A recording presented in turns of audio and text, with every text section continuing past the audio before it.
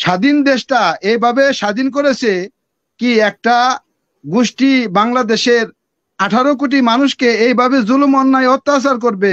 এর জন্য কি এই দেশ স্বাধীন করা হয়েছে? ওনাদের যে এত বছর সরকার ক্ষমতায় এদেশের জনগণের জন্য কি উন্নয়ন করছে এবং কতটা কত হাজার লোকরা ওনারা চাকরি দিতে পারছে? ওরা তো বলছে ঘরে ঘরে চাকরি দিবে। দেখেন বাংলাদেশের মাননীয় প্রধানমন্ত্রী উনি নির্বাচনের আগে বলে কি আমি অত কিছু বুঝি না আমি ক্ষমতা চাই আমি পাওয়ার চাই। এখন জনগণ ওনাকে চাই কি না উনি সেটা না দেখে উনি একলাই নিজের গাও দিনে বলতেছি কি আমি ক্ষমতা আমি অত কিছু বুঝি না আমি ক্ষমতা চাই আমি পাওয়ার চাই। ভারতের উপরে যে বিমানটা যাইতে চাইছিল এই হজযাত্রী নিয়ে ভারতে বিমানটা কেন নামতে দেওয়া হয়নি? এবং ওই ওই বিমানটা নামতে দেওয়া হয়েছিল পাকিস্তানে। আর দ্বিতীয় প্রশ্ন হইল দুই সাতাশশো কোটি টাকা ভূমিমন্ত্রী ধরা খাইছে ইয়েতে, লন্ডনে। আমেরিকা দেখলাম কালকে এটা প্রকাশ করল। তো আর তিন নম্বর কথা হইল, আমাদের প্রধানমন্ত্রী বলে দেশে দুর্ভিক্ষ হইব। মিশরের বাচ্চা যখন ওই দুর্ভিক্ষের কথা স্বপ্নে দেখছিল, তখন হজরত ইসুফ আলাইসাল্লামকে দায়িত্ব দিয়েছিল খাদ্যমন্ত্রী এখন উনি যদি দুর্ভিক্ষ দেখে তাই উনি ক্ষমতা ছাড়ি দিই, অন্য একজনকে দিই, দুর্ভিক্ষ কীভাবে মোকাবিলা করব, এদেশের জনগণকে কীভাবে বাঁচানো যায়? এটা চিন্তা উনি করবে না। উনি ক্ষমতা ধরে রাখে করব, দুর্ভিক্ষ হইব দুর্ভিক্ষ হইব, আর দুই পার্সেন্ট ভোট নিয়ে ক্ষমতা বসে থাকব। ওই বিদেশি এলারা ওনাকে বলব যে উনি এবার জিতবো। বাংলাদেশের আনাচে কানাচে যে কোনো গ্রামেও তো মানুষ জানে যে উনি জিতবো। উনি- জিতবো, এটা তো সবাই জানে। অনেক অনেক ধন্যবাদ। জাহাঙ্গীর ভাই আপনাকে অসংখ্য ধন্যবাদ আমাদের সাথে যুক্ত হওয়ার জন্য এবং না না আপনার উনি উনি আমাদের এই বিমানটা যে নাম তো দিল না এই হজযাত্রীর এটা কথা অবশ্যই শুনে। যে ভারতে যে নামতে দিল না ভারত ভারত আমাদের ভারত ওনাদেরকে ক্ষমতা বসাইলো। ভারত ওনাদেরকে ক্ষমতা বসাইলো। আমাদের বিমানটা একজন যাত্রী অসুস্থ হইল বিমানটা নাম তো দিল না। এটার কারণটা। ওনারা ভারত নিয়ে ফেরেশান শুধু ফেরেশান ভারত নিয়ে। ভারতের কথা ভারতের বিরুদ্ধে কেউ কথা বলতে পারবে না। ভারতের বিরুদ্ধে কেউ কথা বলতে পারবে না শুধু আওয়ামী লীগ বলব কথা। ভারত যেহেতু ভারতের বিরুদ্ধে কথা বলতে পারবে না এখন ভারত আমাদের একজন যাত্রী অসুস্থ হয়েছে মুসলমান শুনছে যে সে হজ করিব হজ যাত্রী সেই জন্য মরে যায়। উনি এই উত্তরটা দিব। ওনার কাছে আমার এই অনেক ধন্যবাদ। উত্তরটা অনেক ধন্যবাদ আপনাকে আমাদের সাথে যুক্ত হওয়ার জন্য।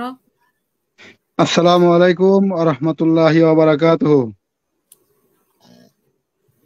জি। ওয়ালাইকুম আসসালাম। যাই হোক। আজকে সম্মানিত উপস্থিত যারা আছেন সকলকে আন্তরিক শুভেচ্ছা ও মোবারকবাদ। আমি আমাদের এখানে আমলিক সমর্থক যে ভাই উনি কি রিপন ভাই? রিপন ভাই হুম। জি। যাই হোক আমি রিপন ভাইয়ের কাছে জি জি জি। আমি রিপন ভাইয়ের কাছে প্রশ্ন রাখতে চাই যে বাংলাদেশে বিগত যে সরকার যারাই ছিল আমরা ওই সময় নির্বাচন হয়েছে, আনন্দের সহিত আমরা নির্বাচন পালন করছি এবং আনন্দ উল্লাস করছি। আজকে এই দু হাজার আট সালের পরে থেকে যে নির্বাচন হচ্ছে, এগুলো কি আসলে কি নির্বাচন? নাকি পুতুল খেলা, নাকি তামাশা? এই যে যে দুই হাজার চব্বিশ সালে যে সংবিধান তারা নিজেরা বান- বানালো এবং সেই সংবিধান তারাই নিজেরাই তফসিল ঘোষণা করল আবার তারা যে স্বামী আর দামি নির্বাচন করল। এখন কথা হলো কি যে জি জি আমার প্রশ্নটা করতে দেন।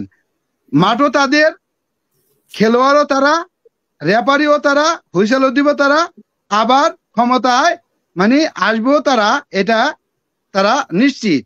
এখন একটা মাঠে যদি দুইটা দল না থাকে তাহলে এক দলের কি খেলা হয়? এখন এই যে যে এক দলীয় খেলা হয়েছে বাংলাদেশের নাগরিক আমরা স্বাধীন দেশটা এইভাবে স্বাধীন করেছে কি একটা গোষ্ঠী বাংলাদেশের আঠারো কোটি মানুষকে এইভাবে জুলুম অন্যায় অত্যাচার করবে এর জন্য কি এই দেশ স্বাধীন করা হয়েছে? অসংখ্য ধন্যবাদ আপনাকে আমাদের সাথে জন্য। আপনাকে ধন্যবাদ। জি। সোহাগ ভাই এক মিনিটে শেষ করবেন প্লিজ আসসালামু আলাইকুম শুনতে পাচ্ছেন? জি শুনতে পাচ্ছি। আপা একটু সময় লাগবে। আপা ধন্যবাদ আজকের সমস্ত অতিথি মহোদয়কে এবং বিশেষ করে আমার এলাকার মাহমুদ ভাইকে স্পেশাল ধন্যবাদ। আপা আসলে যখন আওয়ামী কোন জনগণ মানে নেতৃবৃন্দ আসে তখনই অনেক উন্নয়নের কথা বলে। আমাদের মাহমুদ স্যার মাহমুদ ভাই একটা কথা বলল উন্নয়নের কথা। মানুষের খাদ্যের যে ক্ষুধার্ত তারা যে খাওয়া পাচ্ছে না আপনি দেখেন, আমাদের নোয়াখালীতে একটা রেওয়াজ আছে, কেউ মারা গেলে কিংবা কোনো ব্যক্তির জন্য মেজবান খাওয়ায়। মাহমুদ ভাই ভালো বলতে পারবে, তিনশো লোকের আয়োজন করলে পনেরোশো লোক হয়। এটার কারণ কি? মানুষ কেনার ক্ষমতা নেই। আর বিশেষ করে, এই দেশে এখন গার্মেন্টস এবং যদি প্রবাসী যোদ্ধারা না থাকতো, একবার আমার দেশের অবস্থা চিন্তা করেন। যে উন্নয়ন হয়েছে, সেটা ভাঙা ঘরে সোফা কেনার মতন। আমার ঘরে নয়, আমি একশো শখ করে সোফা কিনলাম। আপনি আলোচনা করতেছেন আচ্ছা হ্যাঁ আচ্ছা করি করি। আমি রিপন ভাইয়ের কাছে আমার অত্যন্ত শ্রদ্ধাভাজন ব্যক্তি রিপন ভাই। ওনাকে আমার খুব পছন্দ লাগে কথাগুলো বলে ভালোই বলে। তো রিপন ভাইয়ের কাছে আমার প্রশ্ন ওনাদের যে এত বছর সরকার ক্ষমতায় এদের সব জনগণের জন্য কি উন্নয়ন করছে এবং কতটা কত হাজার লোকরা ওনারা চাকরি দিতে পারছে? ওরা তো বলছে ঘরে ঘরে চাকরি দিবে। ওনারা কত লোকরা চাকরি দিছে এবং কি উন্নয়ন করছে? অসংখ্য ধন্যবাদ অসংখ্য ধন্যবাদ। জি আব্দুল্লাহ আল সোহান, আপনার প্রশ্ন বা মতামত ডাইরেক্ট প্রশ্ন বা মতামত দিবেন প্লিজ এক মিনিটে শেষ করবেন। আসলে আপনারা যদি গুছিয়ে আসেন, তাহলে আমাদের জন্য সুবিধা হয়। আর আপনারা যদি অতিথিরা যা বলছে, তাও যদি আপনারা রিপিট করেন, তাহলে তো আর মানে একই কথাই বারবার আসছে। জি, আপনারা আশা করি বুঝতে পারবেন। আসসালামু আলাইকুম রহমতুল্লাহ আজকে টেবিল টক ইউকের সমস্ত অতিথিবৃন্দকে আমার পক্ষ থেকে শুভেচ্ছা। হোসেন আপু আপনাকেও ধন্যবাদ আমাকে সুযোগ করে দেওয়ার জন্য। অনেকদিন পরে আসলাম। কিছু বলতেও চাই না। একটু জনগণ হিসেবে এখানে সবাই রাজনৈতিক বিশ্লেষক বা রাজনৈতিক নেতা তাদেরকে সাধারণ জনগণ হিসেবে একটি প্রশ্ন করতে চাই। যদি সবাই বিশেষ করে আরিফুর রহমান রিপন সাহেব উনি উত্তরটা দিলে আরও বেশি খুশি হব। যে মাহমুদ ভাই এবং মনিরুল ইসলাম রবি ভাই এবং আরিফুর রহমান, রিপন ভাই, আপনাদের মান্থলি ইনকাম কত টাকা এবং আপনাদের ফ্যামিলিতে কতগুলো সদস্য আছে এবং মান্থলি আপনাদের ব্যয় কত টাকা, কত টাকার বাজার করেন কত টাকা কীভাবে চলেন, এগুলো যদি একটু বলতেন তাহলে খুশি হইতাম। হাসিন আপু, আপনাকে ধন্যবাদ এবং অতিথি বিন্দুদেরকে ধন্যবাদ ও শুভেচ্ছা জানাচ্ছি। আমার প্রশ্ন রিপন ভাইয়ের কাছে, উনি যে কমিউনিটি হসপিটাল কথা বললেন, তো আমি তো আমাদের এলাকাতে দেখলাম যতগুলো কমিউনিটি হসপিটাল আছে, এখানে কোনো অভিজ্ঞ ডাক্তার নাই। এখানে ইন্টারমিডিয়েট পাস করে চার বছরের প্রজেক্টে আর কি প্রজেক্টে চার বছরের কন্ট্রাক্ট এক একটা ডাক্তার ওখানে ঢুকায় মানে ইন্টারমিডিয়েট পাস ডিগ্রি পাসও না। তারা যায় ওখানে এগারোটার দিকে এগারোটার থেকে সাড়ে এগারোটার সময় পৌঁছে, আবার জহর নামাজের আগে আর চলে যায়।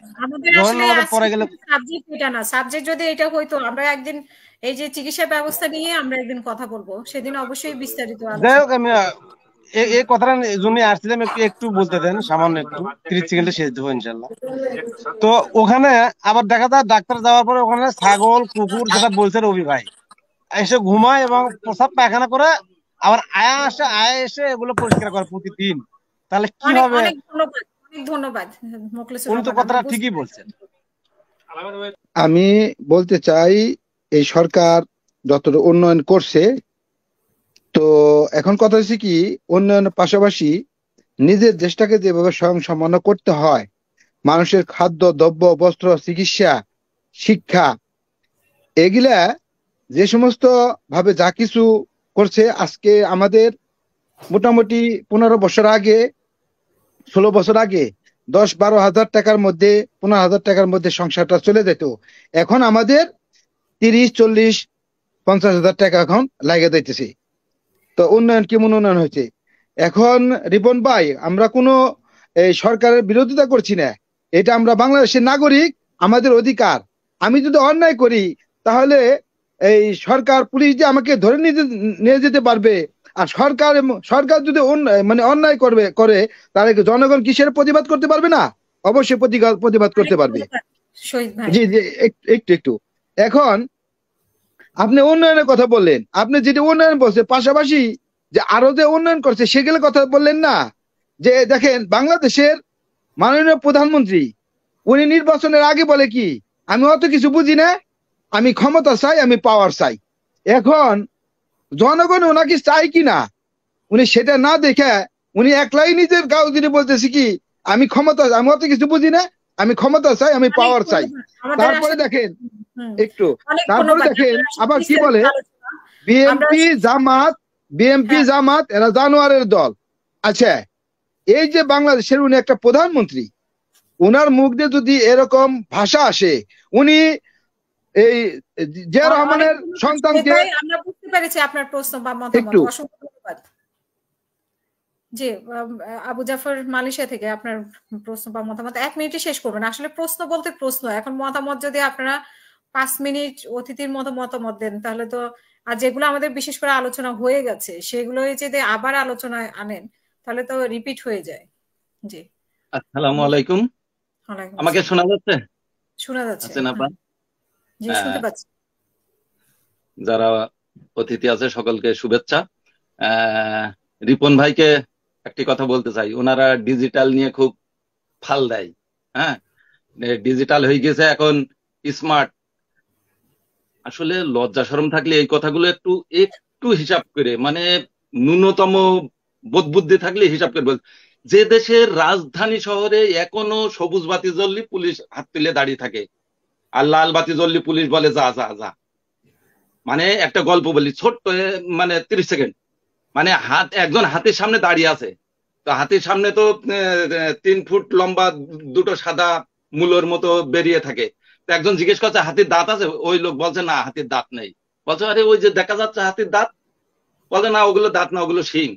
তা আমাদের দেশে ডিজিটাল ঠিক ওই হাতির দাঁতের মতো। ভিতরে দাঁত আছে না আছে, ওটা পরের কথা। সামনে যে দুটো মূলর মতো তিন ফুট লম্বা দেখা যাচ্ছে, ওইটাও অস্বীকার করছে। যে দেশের রাজধানী এখনও মানে ট্রাফিক ব্যবস্থা ডিজিটাল করতে পারিনি, তারা ডিজিটাল নিয়ে গল্প করে, আবার এখন স্মার্টে যাচ্ছে। এদের লজ্জা, শরম থাকলে অনেক অনেক অনেক ধন্যবাদ। অনেক ধন্যবাদ।